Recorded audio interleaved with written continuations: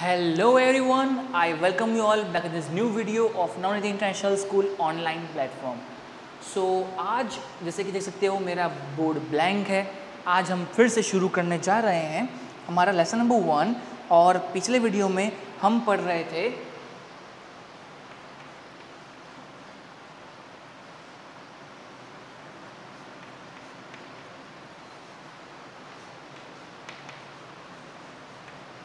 Harvest festival के बारे में, आगे हम जो इसमें पढ़ने वाले हैं, वो होगा 1.9 वो है स्टोरेज के रिगार्डिंग में, ओके? फिर इसमें हमारा लास्ट टॉपिक बचेगा फ़ूड फ्रॉम एनिमल्स। चलो तो शुरू करते हैं आज का इंटरेस्टिंग वीडियो। सबसे पहले हार्वेस्ट फेस्टिवल। तो क्या होता है? आफ्टर थ्री और four months of hard work अच्छा मैं यहाँ पे आपको चीज़ बता दूँ कि क्यों three to four months of hard work लिखा है? आपको लगता होगा, भाई, किसानी को, किसान को क्या है? किसानी करना है, यानी कि एक ऐसा बीज डाल दो, पानी डाल दो और हो गया, काम ख़त्म। हाँ ऐसा नहीं होता है। होता कुछ यूँ है कि एक तीन से चार महीने तक एक क्रॉप को ग्रो करने में किसान दिन, रात कुछ नहीं देखता है। वो अपनी पूरी, जितना भी उसका टाइम है, जितना भी पूरा मेहनत है, वो लगा करके इस क्रॉप को ग्रो करता है। आप जो खाना खाते हो एक एक दाने को ग्रो करने के लिए तीन से चार महीने किसी का खून पसीना लगा होगा। स्टूडेंट्स हमें फ़ूड की वैल्यू बहुत करनी चाहिए और इक्वली हमें वाटर का भी बहुत ही ज़्यादा सही तरीके से यूज़ करना चाहिए। हमें जो जो चीज़ें मिली हैं ऐसे कई बच्चे हैं जिन्हें पढ़ने को सुविधा नहीं है, जिन्हें खाने को फ़ूड नहीं है। आपने अगर साउथ अफ्रीका के बारे में नाम सुना होगा कॉन्टिनेंट है और एक कंट्री वहाँ पर जो अलग अलग कंट्रीज़ हैं तो वहाँ पर इतनी गरीबी है कि वो वहाँ के वहाँ बच्चे पढ़ नहीं पाते हैं, खाना नहीं मिलता है और कितने बच्चे मेल न्यूट्रिशन की वजह से, यानी कि न्यूट्रिशन न मिलने की वजह से ठीक तरीके से उनकी मौत हो जाती है। तो यहाँ पर मैंने आपको ये चीज़ क्यों बताई है? इसलिए मैं बता रहा हूँ आपको कि आपको फ़ूड की वाटर की और जो आपको एजुकेशन मिल रहा है इतना हाई क्वालिटी का। एजुकेशन प्लस आपको जो चीज़ें आपके पेरेंट्स प्रोवाइड करते हैं, आपके सेफ्टी सिक्योरिटी और आपके मन का जो जो पूरा करते हैं, उसको आपको थैंक यू करना चाहिए और आपको थैंक्स गॉड बोल करके आपको उसे ध्यान से यूज़ करना चाहिए। ओके चलो, आगे बढ़ते हैं, वापस हम अपने आते हैं टॉपिक पर। और हम जो पढ़ रहे थे, तीन से चार महीना जो हमारे किसानों को लगता है फ़ूड क्रॉप को ग्रो करने में राइट तो वो जो हार्ड वर्क है, उसमें ऐसा होता है कि रात को, दिन को, हर वक्त किसान को खेत में रहना पड़ता है। उसमें क्यों रहना पड़ता है? कि जो कोई जंगली जानवर हैं ओके वो कभी कभार खेत में घुसते हैं तो उससे क्या होता है? क्रॉप को डैमेज होता है ओके तो क्रॉप को ग्रो करने में पैसे लगते हैं, वो यूँ ही ग्रो नहीं हो जाता है। तो उसको रोकने के लिए किसान को रहना पड़ता है। अब मान लो कि रात को कोई अगर बाय चांस अगर मान लो किसी इरेगुलेटरीज की वजह से मतलब कुछ अगर गलत हो गया, ऐसा मान लो कुछ अनहोनी हो गई, और खेत में किसी तरीके से मतलब रात कुछ अगर आग लग गया, ऐसा कुछ हो गया, या मान लो कुछ बारिश होने वाली है, अचानक सडन मतलब कुछ मौसम बिगड़ गया है, ठीक है? या फिर कोई अगर मीन्स कुछ भी गलत होने के चांस ज़ीरो हो जाए, उसके लिए वो रात भी रहता है और दिन में भी किसान खेत में हर वक्त रहता है ओके तो तीन से चार महीने की मेहनत के बाद जब उसे फ़सल मिलता है तो वो दिन जिस दिन उस उसकी कटाई शुरू करता है वो उसके लिए एक बहुत ही खुशी का दिन होता है। और जब वो कटाई कर लेता है तब वो सबसे पहले जो उसका गॉड भगवान या जो भी रिलीजन से वो बिलोंग करता है ओके तो उसको वो थैंक यू करता है। और वो जो क्रॉप है वो सबसे पहले उनके सामने आ, उनको देता है और थैंक यू बोलता है कि मेरा हार्डवर्क इतना सफल रहा। ठीक है?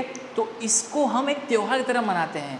फॉर एग्ज़ाम्पल मकर संक्रांति, उस दिन हम पतंग चगाते हैं, लेकिन जो किसान है, वो उस दिन फ़सल की पूजा करते हैं और फ़सल को भगवान के चरणों में अर्पित करते हैं। ठीक है?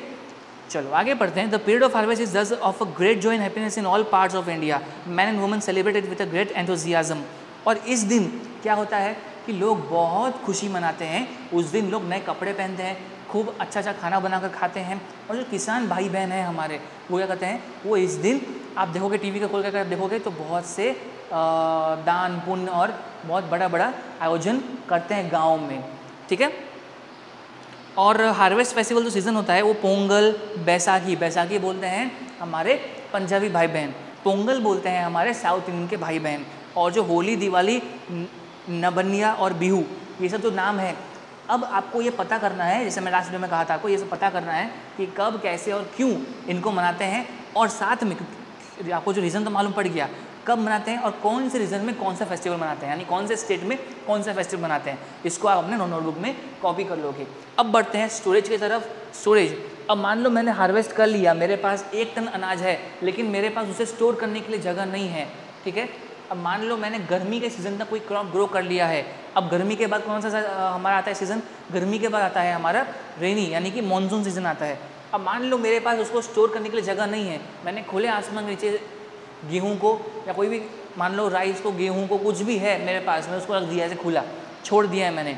और अचानक एक दिन बारिश शुरू हो गई, जून, जुलाई के महीने में बारिश शुरू हो गई, और जब वो पानी में भीगेगा क्रॉप तो क्रॉप जब पानी में भीगेगा तो क्या होगा? वो खराब हो जाएगा, वो सड़ जाएगा।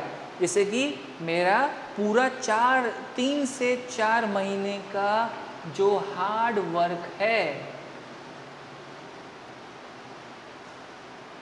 जो हार्ड वर्क है, वो पूरा का पूरा पानी हो जाएगा। तो इसके लिए स्टोरेज यूनिट्स यानी कि कोल्ड स्टोरेज और ऐसे ही बहुत से अलग अलग स्टोरेज यूनिट्स की हमें ज़रूरत होती है एज़ पर दी क्रॉप जैसा क्रॉप होगा, वैसी उसकी ज़रूरत होगी। ओके तो हार्वेस्टेड ग्रेन जो है, उनमें मॉइस्चर नहीं लगना चाहिए और उन्हें बहुत ही ध्यान से ड्राई जगह पर स्टोर करना चाहिए। उनमें किसी भी ऑर्गेनिज्म का अटैक ना हो, उसका भी हमें ध्यान रखना है और जर्मिनेशन ना हो, वो भी ध्यान रखना है। जैसे कि अगर मट, आपके पास अगर हमें ध्यान देखो चना अगर है आपके पास तो उसमें से एक मोटी चना, ठीक है, उससे पानी में डाल दो आज रात को, सुबह उसे निकाल करके ऐसे छोड़ दो खुले में। तो दो दिन के बाद देखोगे क्या होगा कि उसमें उसमें एक स्प्राउट आने लगेगा। एक छोटा सा पेड़ के रूप में, यानी कि वो जो चना था, अब वो सीड बन जाएगा। ठीक है? तो क्या हो जाएगा? ये दिखाता है कि क्यों हमें क्रॉप को स्टोर करना पड़ता है, ताकि वो स्प्राउट ना हो। ठीक है? यानी कि जर्मिनेशन उसमें शुरू ना हो। ऐसा ये चीज़ें हमें ध्यान रखनी पड़ती है। उसे हमें बैक्टीरिया फंगस और पेस्ट से बचाना पड़ता है। ओके?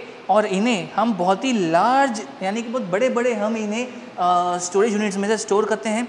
और ये किया जाता है सिलॉस और ग्रेनरीज में से। सिलोज नाम के होते हैं और हम उन्हें ग्रेनरीज भी कहते हैं, ओके?